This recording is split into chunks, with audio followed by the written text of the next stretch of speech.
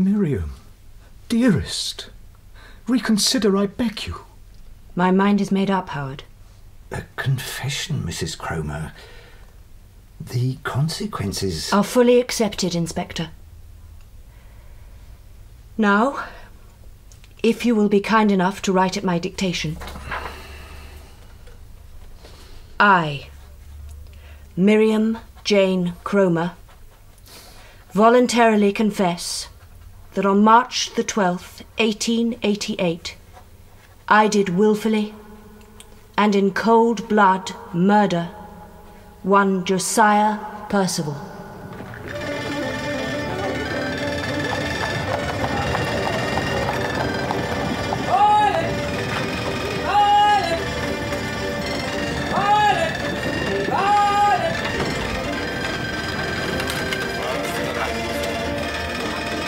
Flowers for the little girl.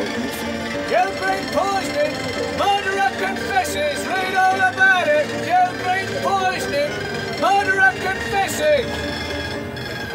We present Waxwork by Peter Lovesey, dramatised by Geoffrey M. Matthews, with Brian Cox as Detective Sergeant Cribb, John Cater as Constable Thackeray, Sarah Berger as Miriam Cromer, and Don Henderson as James Berry.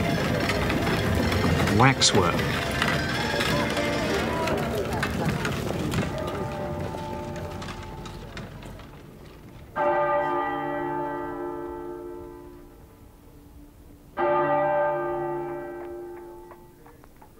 Miriam Jane Cromer. That the deceased Josiah Percival behaved shamefully, even criminally towards you, I concede. But there were other remedies open to you than murder. And even though you've chosen to confess, the law allows only one sentence I may pass upon you. Miriam Jane Cromer, this court doth ordain that you be taken to the place from whence you came, and from thence to a place of execution, and that there you be hanged by the neck until dead.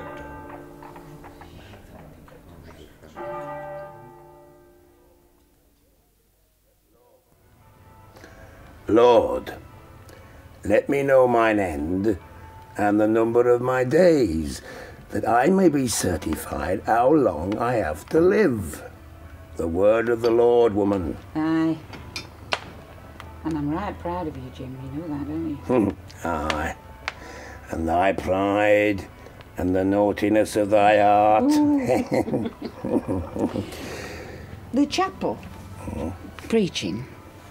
I know what it means to you, but it ain't everything, is it? Well, it's a sight better than Bradford Constabulary. Oh, aye. But how about the rest?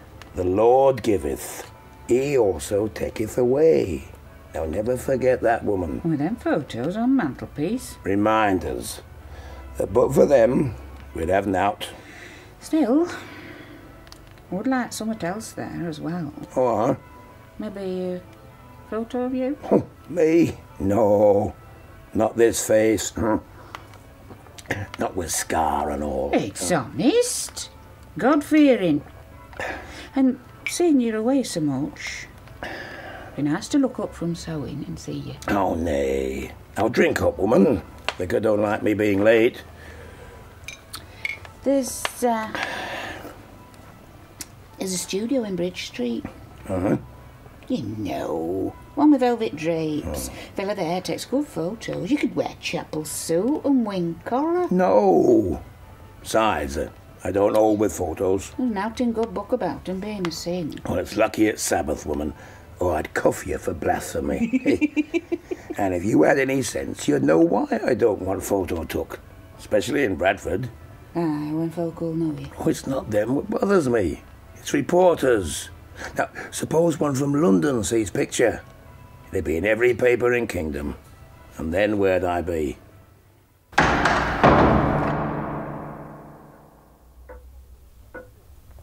Step forward, Cromer. Good day, Mrs. Cromer. As Governor of Newgate, I make it a point to see every prisoner.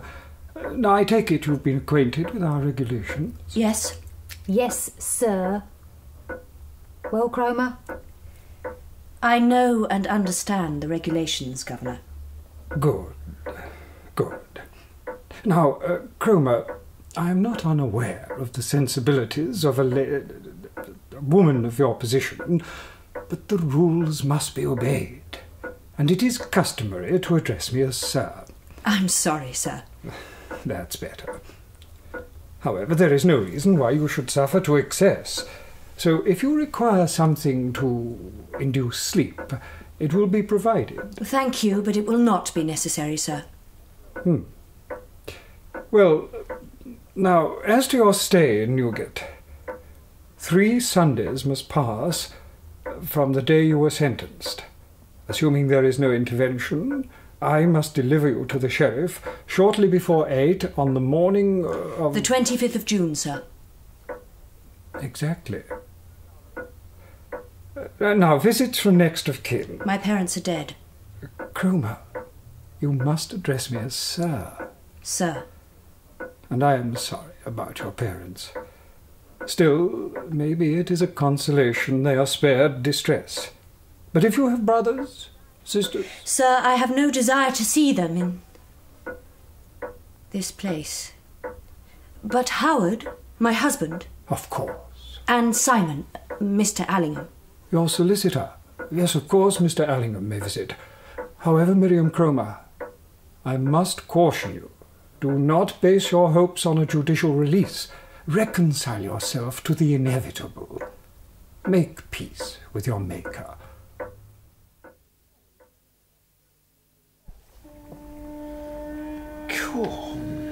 Paradise. Close enough.